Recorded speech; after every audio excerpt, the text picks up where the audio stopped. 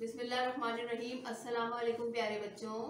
उम्मीद है आप लोग खैरियत से होंगे, मैं भी बिल्कुल खैरियत से हूँ। मैं आपकी उर्दू की उस्तानी। आपको आज पढ़ाऊँगी उर्दू में नया हुर्फ। ठीक है, ये हमारा माह है दिसंबर। हमें दिसंबर में क्या पढ़ना है, आइए देखते हैं। बहुत सारी चीज़ें हैं हमारे पास। जब चोट लग जाती है और खून निकलता है तो जल्दी से क्या रखते हैं उसके ऊपर? रुई। रुई। और जब भूख लगती है तो फिर हम क्या खाते हैं? मामा से कहते हैं, मामा, जल्दी से रोटी बना दें। ये है रोटी। ठीक है? मामा से क्या कहते हैं? भूख लग रही है। मामा, जल्दी से रोटी बना दें। ये है रोटी। जब बकरीद में गाय आती है तो किससे बांधते हैं हम लोग? रस्सी से। रस्सी से बांधते हैं गाय और बकरे को। फिर आप लोग रस्सी पकड़ के उसको घुमाते भी हैं। कहीं घूमने जाते हैं तो किस पे बैठ के जाते हैं? रेल पे। रेल पे जाते हैं। आजकल बच्चों को हो रहा है नजला और नजले में हमेशा अपने पास रखना चाहिए रुमाल। ये है एक अदद रुमाल। ठीक है? अच्छा सर्दी में जब मूंगफली लेने जाते हैं ना, उसके पास होता है ये। मीठी मीठी होती है ये रेवड़िया। इसको कहते हैं रेवड़िया।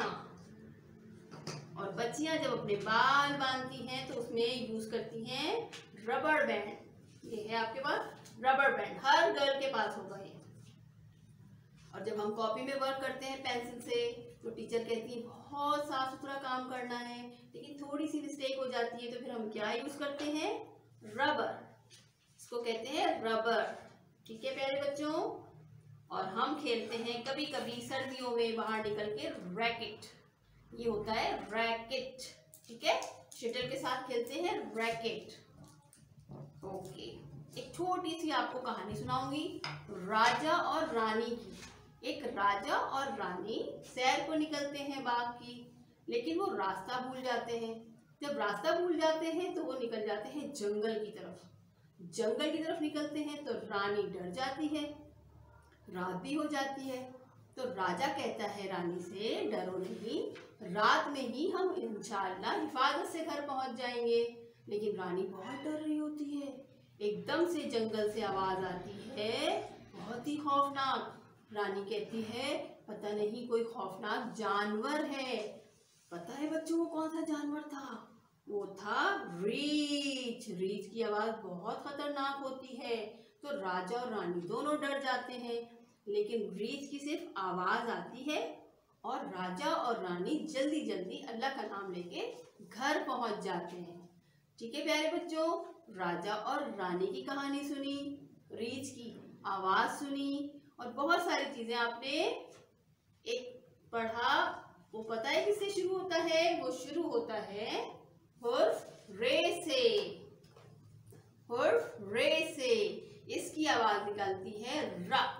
पहले हम क्या पढ़ चुके हैं? हम बहुत सारे खानदान पढ़ चुके हैं। एक अलिफ का खानदान, अलिफ अलिफ मदा, फिर बे का खानदान, बे, पे, ते, टे, से। फिर था जीम का खानदान, जीम, चे, हे, खे। फिर था दाल का खानदान, दाल डाल जाल।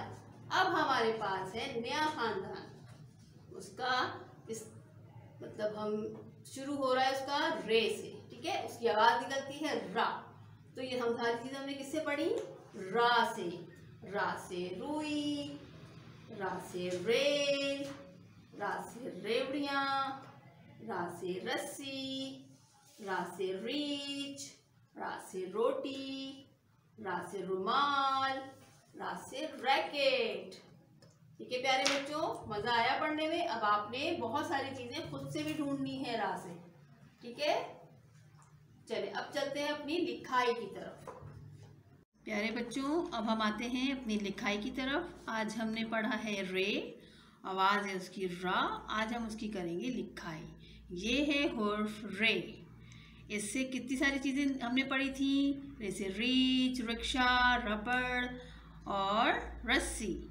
तो हमारे पास एक प्यारी सी फॉर्म भी है। नज़म में पढ़ेंगे रिच रिक्शा लेकर भागा रे, बड़ा ही सीधा सादा दोबारा पढ़े, रिच रिक्शा लेकर भागा रे, बड़ा ही सीधा सादा रे, ये है हमारा नया खानदान। रे रे का खानदान रे से स्टार्ट हुआ। रे की सा आवाज़ निकलती है, रा रा रबड़ी, रा रिक्शा, रा रीच। रा रस्सी, रा रोटी। अब हम लिखेंगे अपनी खुद से राइटिंग ठीक है? डॉटेड लाइन पे आपने रखनी है पेंसिल और अपनी नीचे वाली लाइन तक रे लेकर जाएँगे।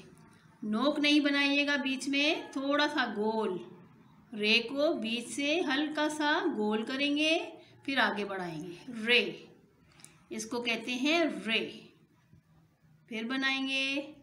डॉटेड लाइन पे पेंसिल और नीचे तक लाएँगे गोल से। नोक नहीं बनानी रे में। ठीक है प्यारे बच्चों? अब हमारे पास है इस्लामियात। अब हम चलते हैं इस्लामियात की तरफ़। इस्लामियात में हम सबक पढ़ रहे थे कुरान मजीद। उसका पहला, दूसरा और तीसरा सवाल के जवाब हम याद कर चुके हैं। अब हम करेंगे इस पार्ट में कुरान मजीद में कुल कितने पारे हैं? ये पहला सवाल आपका। मीन चौथा सवाल, कुरान मजीद में कुल कितने पारे हैं? तो जवाब है तीस। फिर आपका सवाल है, कुरान मजीद हमें क्या बताता है? कुरान मजीद हमें क्या बताता है? जवाब है अल्लाह ताला की बातें। अल्लाह ताला की बातें। ठीक है प्यारे बच्चों, अच्छी तरह इसको याद कीजिएगा। सबक कुरान मजीद के सारे सवाल हो गए। अब आपने इसको याद करना है, ठीक है? ओके और नाजरा में आपको याद करना है कलमा शहादत। शहादत कलमा कौन सा है? दूसरा कलमा शहादत। शहादत माने गवाही। अशदुल्लाहु वहदहु ला शरीक लहू वाशहदन्ना मोहम्मदन अब्दहु रसूलहु। ठीक है? आप लोगों ने इसको याद करना है ये आपका नाजरा है? ओके अल्लाह हाफिज़ अपना बहुत ख्याल रखिएगा फिर मिलेंगे इंशाल्लाह